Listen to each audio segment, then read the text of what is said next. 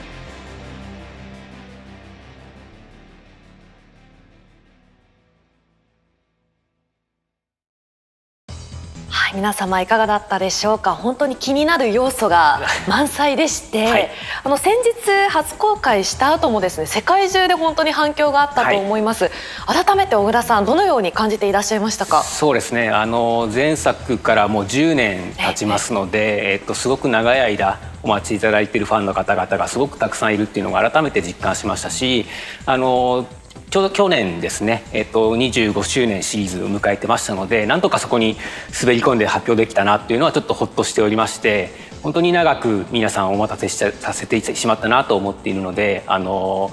そういった意味ではすごくあの反響いただいてすごく感謝しております。はい以前からのファンに加えまして、はい、また今回の映像で改めてこのアーマードコアというものを知った方も多くいらっしゃると思うんですけども、はい、初めての方に向けて改めてこのタイトルどういった作品なのか、ご説明お願いしてもよろしいでしょうか？はい、わ、かりました。えっとアーマードコアシリーズというのはえっと弊社が本当にあのゲーム業界に参入してからえー、すぐに出したタイトルでございまして、まあ、当時キングスフィールドとかも出したんですけども同じような形で、えー、1997年から、えーと、プレイステーション専用タイトルとして発売した、えー、タイトルになりまして、まあ、最新作ちょうど10年前なんですけども2013年の「アーマードコアバーティクトデイ」っていうところから全15作品出しておりまして、まあ、最も、あのー、特徴的な部分としましては、まあ、あのパーツを組み替えて自分だけのオリジナルメカーを作って、まあ、それをアクションさせて遊ぶっていうところが一番のポイントになってまして、まあ、そのコアであったりとか頭であったり武器であったりっていう形のさまざまなパーツっていうのを自由に本当に組み替えていただいて、まあ、自分だけのオリジナルメカでさまざ、まなミッションを遂行するっていうところが、まあ、最も特徴的なアクションゲームとなってます。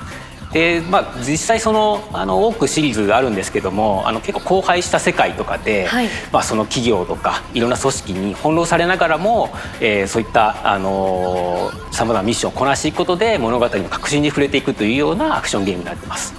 ストーリーもアセンブルも本当に奥深い、そうですね。あの特にアセンブルパーツを組み替える部分に関しては非常にあの奥深いまあ、複雑さもあるんですけども逆にそこがやりごたえがあったりするところなのであのいろいろあの組み合わせて見ることでこの自分の好きなメカっていうのを、まあ、パーツの性能だけではなくて見た目もこだわっていただけるところがポイントかなと思ってます。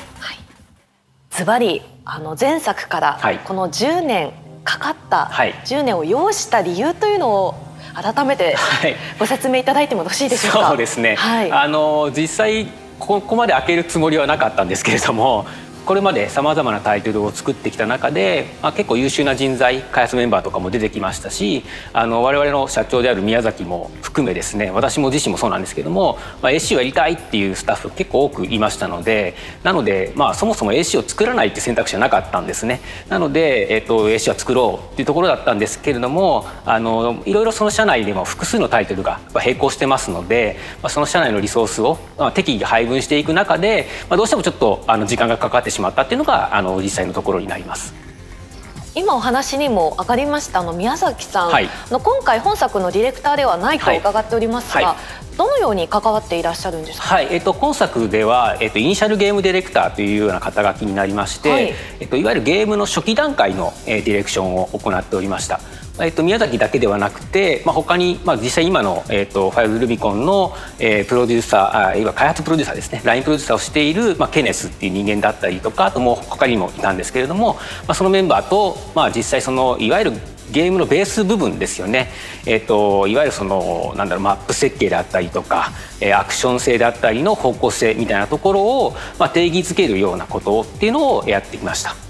アーマードコアの大きな方向性ってどういったものなんでしょうか？はい、えーと、これまでフロムソフトウェアが培ってきた知見とかノウハウみたいなものを生かして、まあ、AC シリーズならではのアセンブルをすることでの操作の自由度っていうところをもう一度見つめ直そうというところですね。そこがまあ一番のポイントだと思っていてその実際パーツを変えることでアクションが大きく変わる。そのアクションとアセンブルがまあ相互に関係しているっていうところそこが多分一番重要なところで、まあ、そういったところのまあ定義づけみたいなところを行った形ですね。その方向性がありつつ10年を経て今までの作品と今作一番大きな違いはどういった点になるんでしょうか？はい、えっ、ー、と一番大きなところとしましては過去作以上にまあコストであったりリソースだったりっていうのが多く使えるっていうのがまず1点で、でもう一つはまあ10年という長い結構期間がありましたので、それまで我々としてはまあダークソウル2であったりとか、あとブラッドボーン、ダークソウル3あとは、まあ、デラシネであったりとかそれこそ「関をシャドウデザイントワイス」あとは最近だと「エルデンリング」といったさまざ、まなタイトルを作ってきましたので、まあ、そこでの知見であったり経験であったりノウハウっていうものが生かされるってところが一番大きなところだと思います。えあの今までの作品例えばアーマードコア5ですとか過去作とのつながりは本作はあるんでしょうか？えっと、前作の5とつながりがあるかと言われるとストーリー的なつながりっていうものはありませんので実質あの今作から始めていただくとしても全く問題はないと思ってます。あのアマゾカシリーズのいわゆるそのパーツを組み替えて自由に操作するっていうそのいわゆるその根幹の面白さみたいなところっていうのは、まあ、今でもあの十分に面白いものだと思ってますしあのそこはすごく僕らも大事にあの作っていきたいなというところなので、まあ、そういった部分と、まあ、これまで培った我々の、えー、タイトル開発からのノウハウであったり経験みたいなものを掛け合わせて、まあ、新しい形でのアーマードコアとしてのアクションゲームっていうのを今回お届けしたいなと思ってます。新規の方でも触れやすいタイトルになってるんですね。はい、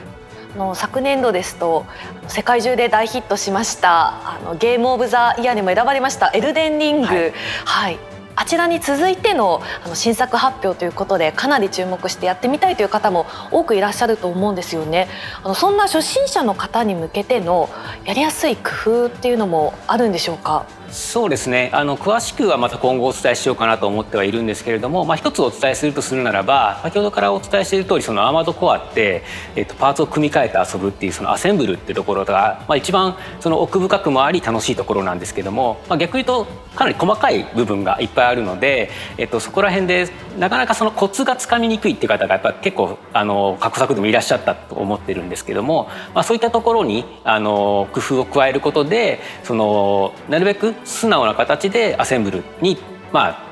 手掛けていただけるような形になるような工夫というものを盛り込もうとしています。はい、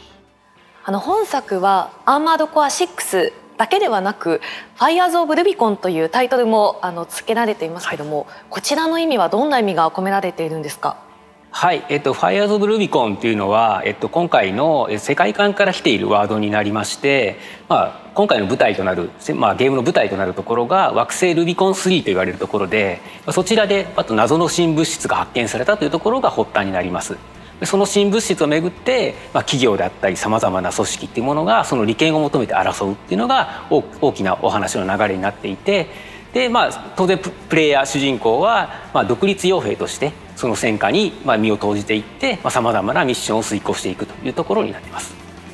いやストーリーも考察違いがありますけども皆さん他にも考察しているのがパーツ。あの初出のトレーダーでも出てきましたがバリアだったり四脚のパーツでしたり過去作にも出てきたようなパーツ要素が見受けられました。本作ではどういったパーツが出てくるんでしょうか？はい、えーと、今作でもあの過去作にあったようなパーツであったりとかそれに類するものっていうのは当然出てきます。あの映像にあったあの近接クルーでボンって突っ込んでるようなあのパイルバンカーと言われるものだったりとか今おっしゃられたような四脚であったりとかっていうのも当然あの今回も入っています。で他にもあの実際あの映像をご覧いただければいろいろなゲームの情報っていうのは実は隠されているのであそうなんですか？あのじっくり見ていただけるとあこんなことができるのかなっていうのもあの考察していただけるんじゃないかなと思ってます、はい、まだまだ何度でも見ていただきたいですね。すね。はい、はい、そしてあのフロムソフトウェアさんといえばやはりハードなあの手応えのある難易度のゲームタイトルがやはりおなじみですけどもアーマードコアの難易度設定はどうなっているんでしょうか？はい、えっと、本作でも、えっと、我々らしいその手応えのある、えー、ものっていうのは当然目指していますしそういったものになっていると思ってます。ただ今回あのアーマードコア6の、えーと難易度に対するアプローチっていうものはちょっとあの他のものとはちょっと若干違っていて、まあ、アーマードカシリーズ独特のものとしましてその先ほどからお伝えしている通りパーツを組み替えるところが、まあ、一番の根幹だと思っていてそのパーツを組み替えることでその攻略の手がかりみたいなものを見つけるっていうところが一番のポイントだと思っていますので、まあ、そこをあの今回もあの丁寧に主軸に置いてましてそこにプラスアクションその最適最適なアクションをすることでその難局を乗り越えていくっていうところの楽しさであったりとか達成感みたいなところは今回も注力してます。やはり本作でもそのアセンブルが一つの攻略の鍵になってくるわけですね。そうですね。はい、そこのアセンブルを軸にしながら、えー、南極を乗り越えていくってところが今回ポイントかなと思ってます。はい、南極と言いますとボス戦も気になるところなんですけども、はい、ボス戦のやりごたえはいかがですか？そこはもうもちろん今回もあのやりごたえがあるものになってると思います実際ゲームの中でのまああのボス戦っていうのはすごく花のある部分なので、はい、今作でもそこはキープしておりますしそこのエッセンスって当然入ってます。あのフロムソフトウェアらしいそのボスとの戦闘いわゆるその敵の動きであったりとかを学習してかすかな予兆をつかんで、まあ、最適な攻撃を繰り返すっていうところのそのやりごたえみたいなところっていうのは当然今回もあのニュアンスとして入ってますので実際そこの、えやりごたえっていうのは楽しめるのかなと思ってますし、まあ、今回メカならではなんですけどもそのまあ、敵も自分もすごく動きが派手なんですね。そのロボットなのでそのダイナミックですごくアグレッシブなんですね。で特に戦闘距離が、えーと、遠くから近くから近くから遠くみたいな形ですごく目まぐるしくあの工作していくのでそういった意味でもよりダイナミックで激しいバトルっていうのが楽しめるのかなと思ってます。早く見たいですねバトルシーンが。そうですね。そこも、はい、あのお楽しみいただけたらなと思ってます。はい他にもあの気になることがありまして本作でのマルチプレイ要素はどうなっていますか？はい、えっと、本作はよりダイナミックなアクションを楽しんでいただけるようにと思ってますので、えっと、ストーリーモードはシングルプレイにしてますけれども、えっと、オンライン要素としましてオンラインアリーナという形での、はい、対戦ものを用意しようかなと思ってます。ただこちらに関してはちょっとまた後日詳しくお伝えできたらなと思ってます。気になりますね、非常に。はい他にもあのオンライン要素ってあるんでしょうか？はいえっと一つだけちょっとよく聞かれるのでお伝えしようかなと思ってるんですけれども、えっと、今作でもいわゆるそのエンブレムというものがありましていわゆるその機体に貼る自分だけのマークみたいなものなんですけれどもそれをまあ自由に作るっていうのが過去作からずっとあるんですけれども、はい、まあ、そちらをあの交換できるっていうことを、えっと、前作に引き続いて今作もやる予定なのでそのいわゆるパーツのパラメータだけではなくてカラーリングであったりとかウェザリングであったりとかまあそのいわゆる見た目ですよね、はい、そういった見た目も、えーと、含めてカスタマイズすることで自分だけのオリジナルのメカっていうのを楽しんでいただけるのかなと思ってます。では従来のファンにもあ嬉しいあの要素がまだ